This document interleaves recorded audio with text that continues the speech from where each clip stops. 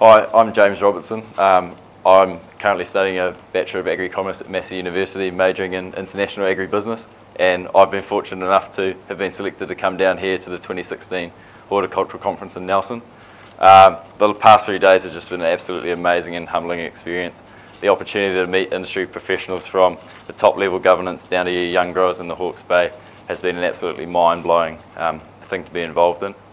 Um, it's good to see that the older generation is supporting us young people in the industry to get involved. And I think it is crucial for us to be involved in the industry to help reach those future goals, whether it be in horticulture, agriculture, or the whole entire primary industries working together to achieve our long-term export goals and objectives. But um, yeah, I'd like to thank Horticulture New Zealand and that for inviting us along to this conference. And um, yeah, I look forward to seeing what happens in the future.